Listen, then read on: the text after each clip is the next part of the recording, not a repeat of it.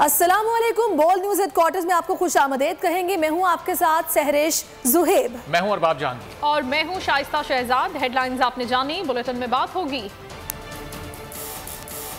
कौन सगा कौन सौतेला घर का भेदी लंका ढाए। निगरा हुक्मरान कौन? और अदालत जाने का ऐलान। और सबसे पहले, सबसे अहम खबर, खाकान को बचाओ, मिफ्ता को मुकाओ। नून लीग का अपने सबक वज़ीर खजाना को पार्टी बदर करने का फैसला, मिफ्ता इस्माइल फैसले पर पार्टी के बजाय किसी और से मुशावरत करते थे। पार्टी जराए से खबर मिली है, शायद खाकान अब्बासी का शिकवा जायज़ है, उनके तहफात दूर किए जाएँगे। नून लीग ने फैसला कर लिया। मजीद जानेंगे, बोल न्यूज़ के नुमाइंदे आरिफ मलिक से। आरिफ मलिक, बताइएगा क्या मामला है? पार्टी जराए का ये कहना है कि मिफ्ता इसमेल को अब पार्टी में नहीं रखा जाएगा पार्टी से निकालने का फैसला कर लिया गया है, क्योंकि मिफ्ता इसमेल जो है वो जनरल रिटायर्ड बाजवा की पर्ची थे और 2017 में भी उन्हें वज़ीर खजाना उनके कहने पर बनाया गया और 2022 में भी मिफ्ता इसमेल को वफाकी वज़ीर खजाना उनके कहने पर बनाया गया। तो ये इस वक्त नवाज़ शरीफ जो है, सख्त नाला है मिफ्ता इसमेल से और इसी वजह से उन्हें पार्टी से निकाला जा रहा है, क्योंकि वो पार्टी पॉलिसियों के खिलाफ बात कर रहे हैं।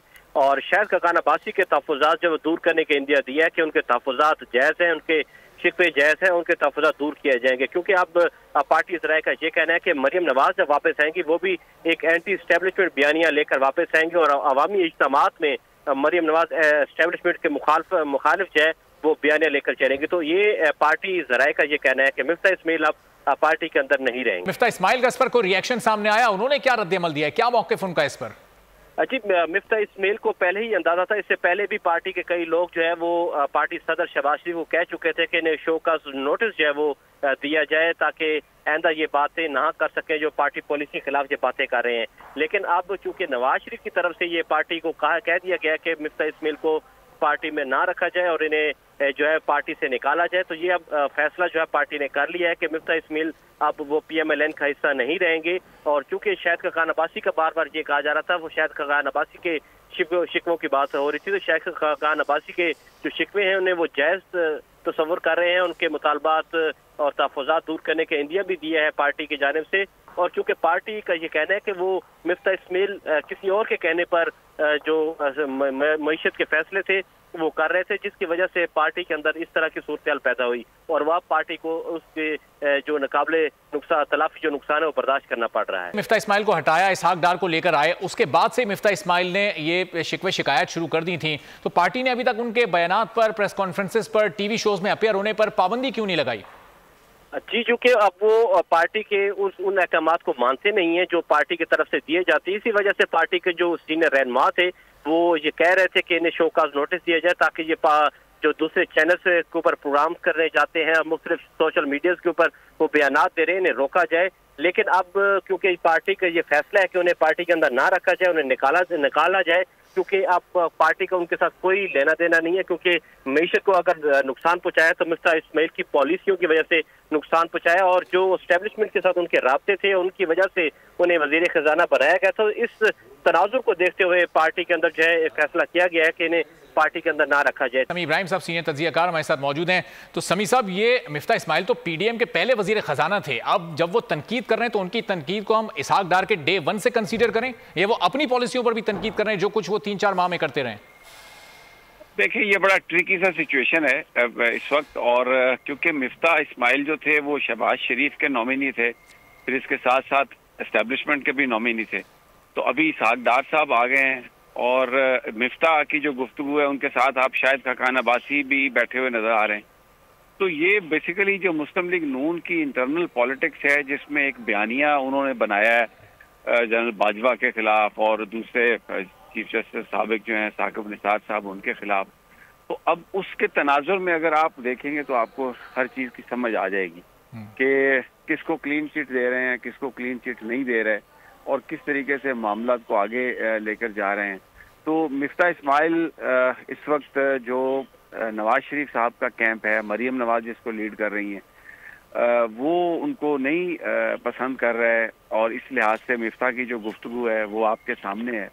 तो अभी अभी ये जब थोड़ा सा इसको और आगे चलने दें तो आपको वो जो एक बात होती थी कि शीन और नून ये बड़ी वाज तफरीक आपको नज़र आएगी और ये और इस कई पीटीआई के लोग भी ये प्रोजेक्ट करते रहे कि जैसे ही इलेक्शन के दिन आएँगे नज़दीक तो ये जो इंटरनल ग्रुपिंग है ये सामने आएगी और अभी जो फिर पीपल्स पार्टी की तरफ़ से जो बयानबाजी आएगी वो भी आप देखेंगे बड़ी हैरान कन होगी। जी। अच्छा तो समीत साहब ज़ाहिर है कि अब इस वक्त तो नून का पलड़ा बड़ा भारी नज़र आ रहा है जब मरियम नवाज़ को नॉमिनेट कर दिया गया है वो आने वाली हैं सारे मामला वो संभालेंगी। तो अब मिफ्ता इस्माइल और फिर इनके कैंप के जो कुछ लोग जो परेशान हैं इस वक्त पार्टी में उनका क्या मुस्तबिल है? कि आने वाले दिनों में मिफ्ता हमें पीपल्स पार्टी या पाकिस्तान तरीके इंसाफ को ज्वाइन करते नज़र आएँगे? अभी तो ये इंटरनली प्रेशर बढ़ाएँगे।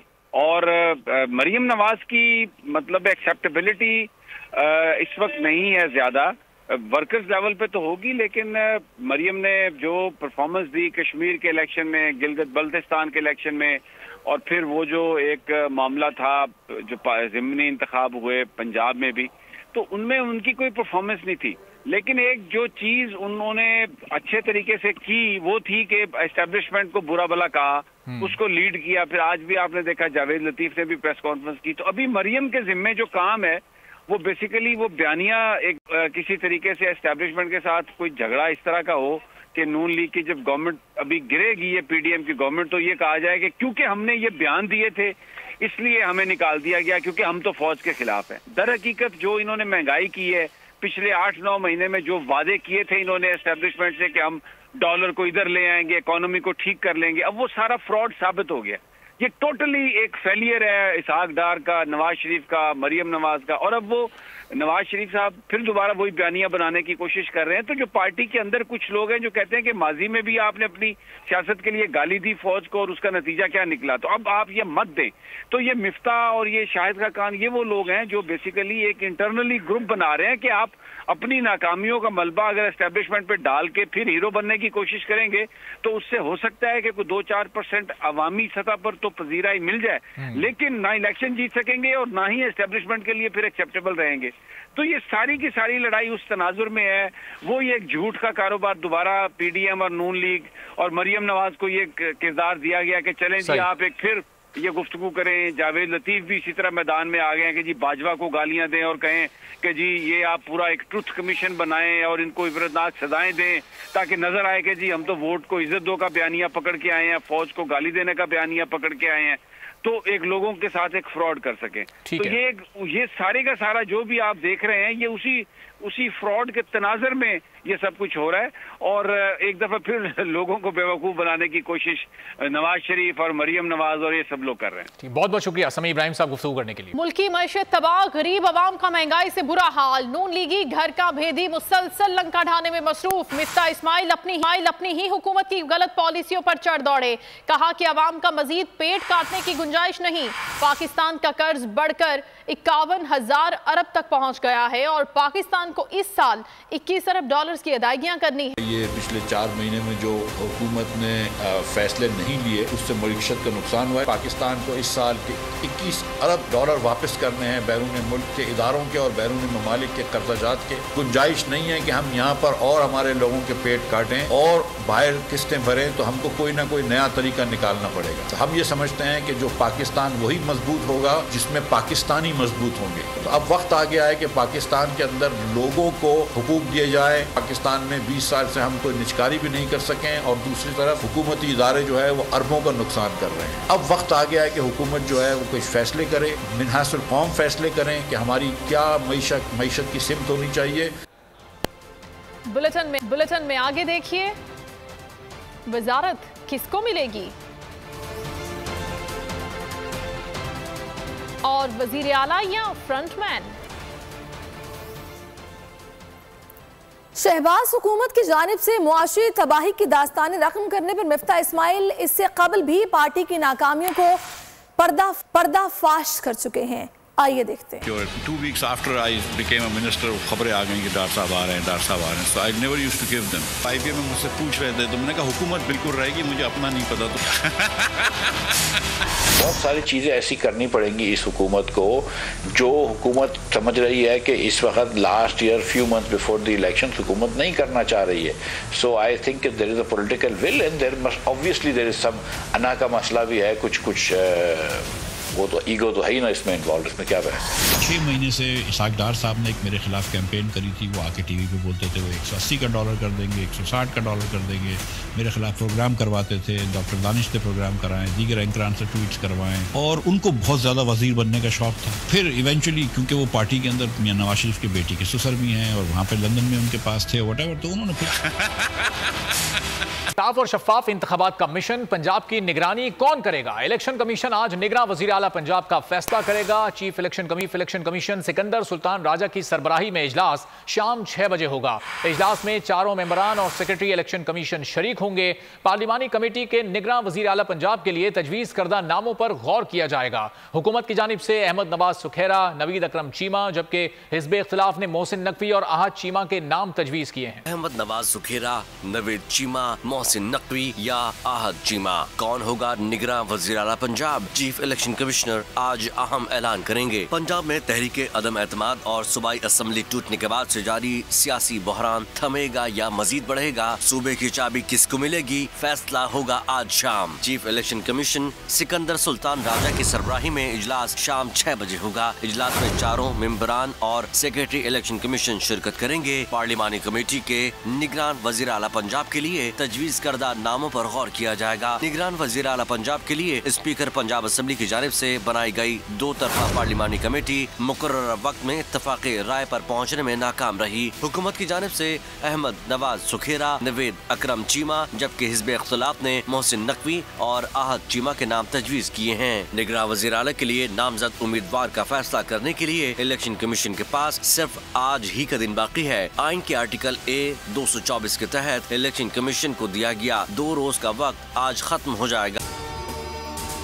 अगर आपको ये वीडियो पसंद आई है तो लाइक पर क्लिक करें। 2022 बहुत सारे तोहफे भी देखे गया पाकिस्तान की आवाम को। पाकिस्तान की आवाम को एक तोहफा ये दिया कि आवाम को पता चल गया कि पाकिस्तान का मीडिया क्या है। साल 2022 में सबसे ज़्यादा देखे जाने वाला चैनल बोल न्यूज़ रहा नंबर वन। हमने बहुत सारे शोज़ और ट्रांसमिशन की पूरा साल मुसलसल जदोजहद में निकल गया कि ये वोट ऑफ़ कॉन्फिडेंस के पीछे कौन लोग थे तोड़े रेटिंग के सभी रिकॉर्ड सोशल मीडिया पर भी सबसे ज़्यादा तेज़ी से 2.4 बिलियन व्यूज़ का संगे मील अबूर किया।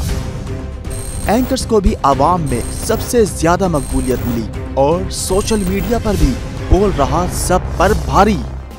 सब्सक्राइब करें और बेल दबाएँ ताकि कोई खबर रह न जाए।